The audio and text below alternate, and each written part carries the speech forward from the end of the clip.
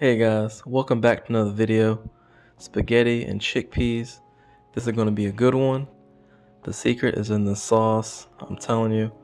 Just stay tuned. I'm going to show you how it's made.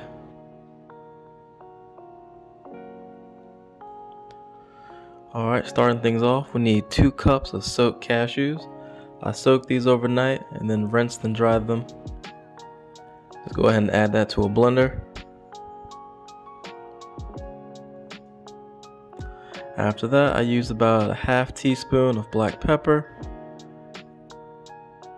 and about half teaspoon of pink salt.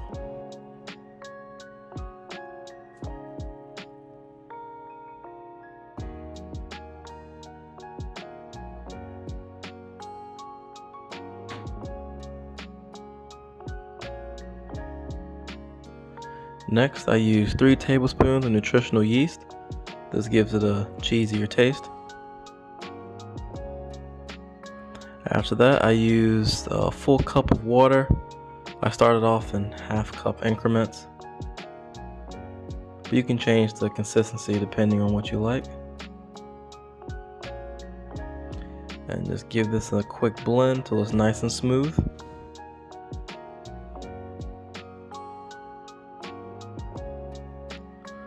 Afterwards, I used the juice of one lime. This gave me about three tablespoons.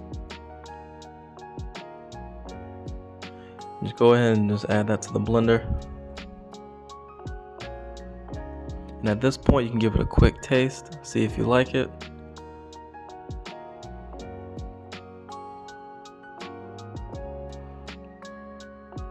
This came out just about perfect. Now I'm gonna use half cup of onion and about three to four cloves of garlic. You want to saute these on medium, medium high heat. You can use oil, but I actually just use water to fry these. Afterwards, go ahead and set these aside. We're going to use these for later. For the noodle, it's going to be a buckwheat noodle. I got these from an international market.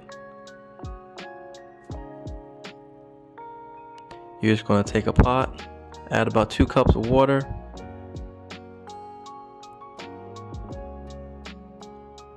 When that's nice and boiled, go ahead and add your noodles. And we're going to cook these for about seven or so minutes.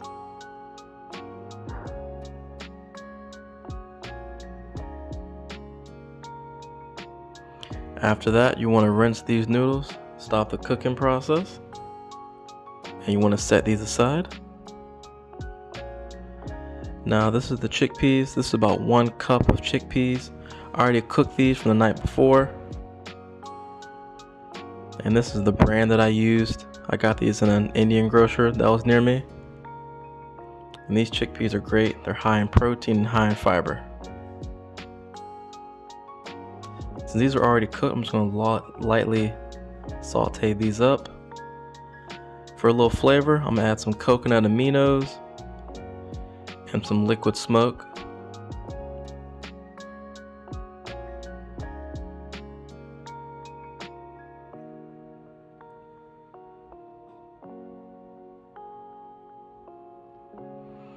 While that's cooking, you're gonna add in the onion and garlic into the pasta sauce mixture and just blend that up.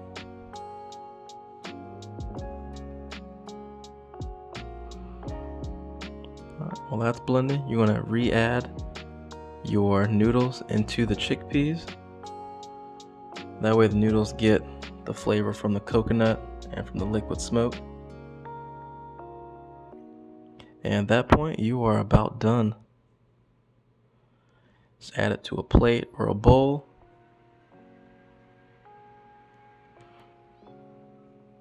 And top it off with that homemade sauce that you made. And that is it. Quick and easy.